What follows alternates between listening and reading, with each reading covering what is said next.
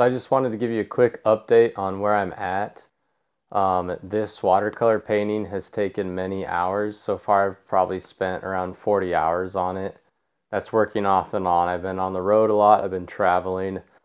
So I want to wait till next week to show you exactly how that masking tape method works because you really need to see the whole process all together to understand um, how effective it can be if you do it correctly.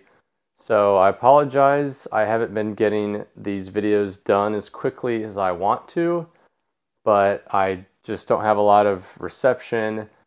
And the main thing is I don't want to push the art project. I don't want to push the art because if I try to rush myself too much, then the quality will go down. That being said, I can't really make excuses here all day. Um, it just is what it is.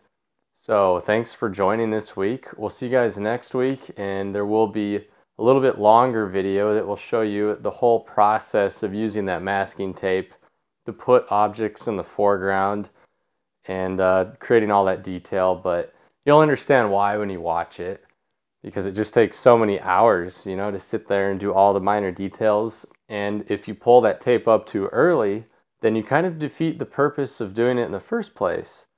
But you'll understand that when you watch it. I still want to put out those videos on sculpting drapery, but they're all ready to go. They're on YouTube ready to go, but I cannot put them out until that sculpture is installed. Uh, that's just the way that goes too.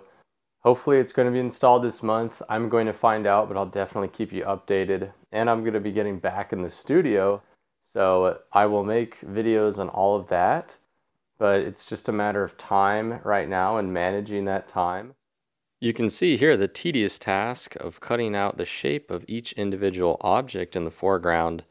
Then I have to go over and paint all the individual blades of grass, the rocks, leaves, everything else that's not in the foreground. So basically I need to paint the whole background before I peel up that tape.